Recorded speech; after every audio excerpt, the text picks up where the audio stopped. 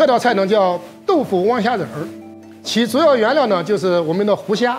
作为济宁的传统的运河餐饮文化的主要食材，就是来源于我们微山湖，那么就形成了济宁运河传统的这么一种餐饮。那么呢，在这个过程当中呢，就是唯有独特的给大家要讲的一点就是汪字。那么作为汪字这个烹饪技法呢，不仅在我们鲁菜，而且在全国各地啊没有这一套这个烹饪技法，唯独济宁有，因为这里的汪字儿很多。有汪虾仁儿啊，有豆腐汪虾仁儿，有汪鱼丝、汪肉片儿，包括它的特点就是既有汤汁，同时呢还有薄的一种芡口。就冲洗干净之后呢，要沥尽水分，这个原料要脱水，把湖面的水分也要去掉，更完好的保证姜汁的上芡，保持的最佳的口感的适应度和这个光晕度。这这个是蛋清糊，啊，这样摔拿，摔拿呢，实际呢，这个原料，啊和这个浆糊呢切合在一起，啊，增加它的附着力。然后呢，还要加食盐，其作用呢也是让这个原料呢更好的上劲，啊，使之在滑油过程当中呢不脱糊。二次加盐，更好的保证到它这个光晕度。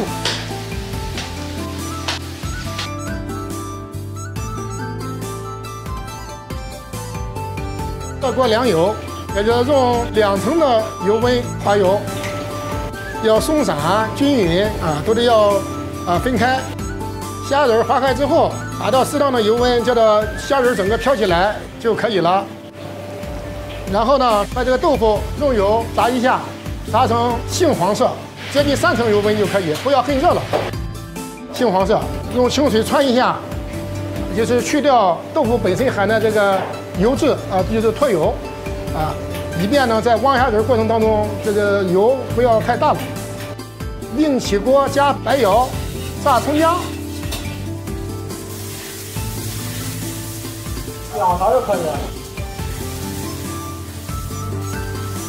在这个高汤开开油以后，放入虾仁和豆腐。